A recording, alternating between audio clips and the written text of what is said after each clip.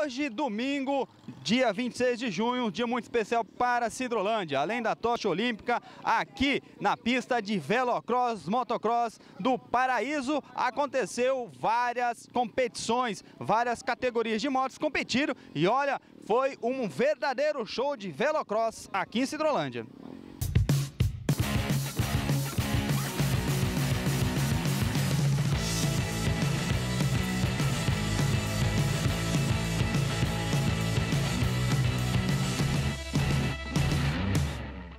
Cidrolândia está de parabéns.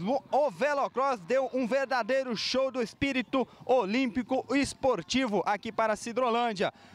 Esportistas, motoqueiros, apaixonados por motos e, lógicos, corredores participaram de oito categorias. Eu conversei com Giovanni dos Santos, o popular Ovelha, e ele falou da alegria e satisfação aqui por organizar esse grande evento para a Cidrolândia. Temos a agradecer o secretário de esporte, Gilmar, o secretário de obras, o senhor Martins, que deu maior apoio para nós, jogando arenite a semana inteira na pista.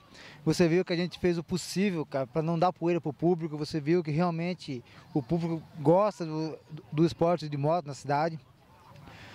Falei com o secretário de esporte, ele, teve, ele, pretende fazer mais duas etapas aqui na cidade. Agradeço bastante também ao prefeito Aribasso, que vem nos apoiando no esporte a cada dia que passa. Acredito que mais de 1.500 pessoas hoje aqui, né, é, prestigiando esse esporte também, a gente fica solidário, é, haja vista aqui a, a preparação da pista, é, do local aqui em volta, né, que antigamente funcionava como lixão, hoje está limpo. As pessoas estão aqui participando e, e gostando. Então aqui para o Jardim Paraíso, onde muito se fala que é, não foi dado aquela atenção devida para a Praça de Esportes do Paraíso.